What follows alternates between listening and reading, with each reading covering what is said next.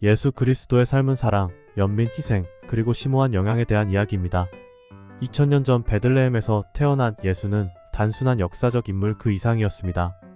그는 희망, 구원, 그리고 구원의 약속을 구체화했습니다. 예수님은 마리아와 요셉 사이에서 태어났으며 목자들과 현자들이 예수님의 도착을 증언했습니다. 그의 탄생은 인류 역사의 흐름을 영원히 바꿀 신성한 계획의 시작을 나타냅니다.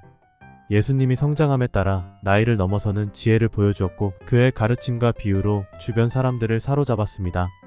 그는 사랑, 용서, 그리고 천국의 메시지를 설교했고 하층민과 힘있는 사람들 모두의 마음을 감동시켰습니다.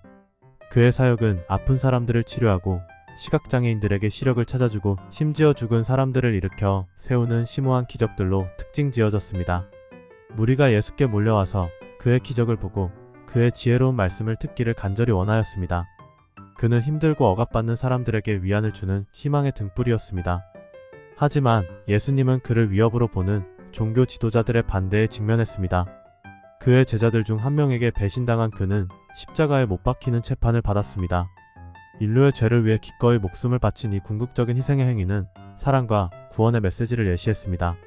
하지만 이야기는 그의 십자가 처형으로 끝나지 않습니다. 사흘 뒤 예수님은 죽음 자체의 승리를 거두며 죽은 자들 가운데서 살아났습니다. 그의 부활은 기독교 신앙의 초석이 되어 죽음에 대한 생명의 승리를 상징하고 그를 믿는 모든 사람에게 영원한 생명의 약속을 제공합니다. 예수 그리스도의 삶이 오늘날 삶에 영감을 주고 변화를 주고 있습니다. 사랑, 용서, 연민에 대한 그의 가르침은 인간 경험의 복잡성을 탐색하기 위한 로드맵을 제공합니다. 그의 본보기를 통해 그는 우리에게 이웃을 사랑하고 소외된 사람들을 돌보고 너무 자주 분열되는 세상에서 통일과 평화를 추구하도록 가르쳤습니다. 예수님의 삶은 고통에 대한 연민, 불의에 대한 정의로운 분노, 그리고 인류에 대한 변함없는 사랑이었습니다.